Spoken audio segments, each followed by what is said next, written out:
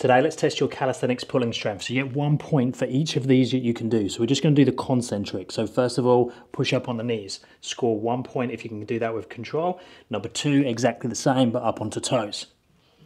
Number three, start on the forearms, push forwards onto the hands, up to the top position. Then a dip, so between two boxes or two P-bars. From a tripod position, and then up to a crow hold. So some of these are going to start to get harder from a balance point of view, not just a strength. A standard pike push-up, concentric. The same from a deficit position. Pike position with the feet raised.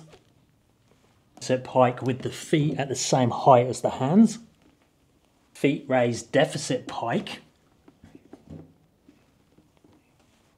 Concentric wall handstand push-up, so chest to wall. So from the headstand position, pushing up, walking up the wall, the same back to wall. Freestanding, headstand up to handstand, show control at the top. Deficit chest to wall handstand push up, so shoulder stand up to handstand position but using the wall. Same but back to wall.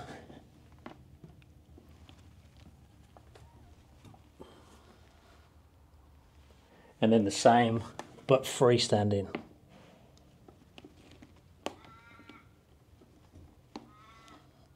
The same but on P-bars.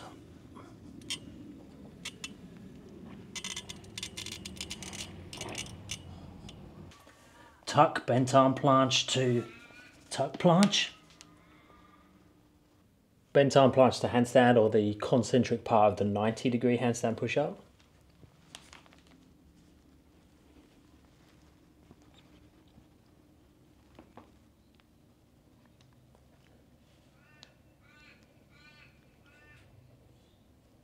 So as you can see with that one, I'm starting to push my limits. My body was starting to arch, my legs are starting to come apart, but I'll keep going through these as far as I can. So now we're gonna go dead press. So it's same as the last, the 90 degree up, but this time you lay on the floor first.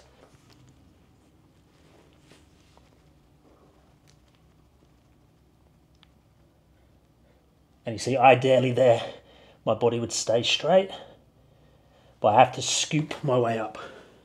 Now I'll be keeping a track of the numbers here somewhere. I've actually lost count by doing them. They were the ones I could think of. So let me know how many of those you can do. So how many points did you score? Let me know also down in the comments what other ones that I should try or I missed off the list. If you're after coaching or programming for any of those, check out my website, www.paultwyman.com.au and I'll speak to you in the next one.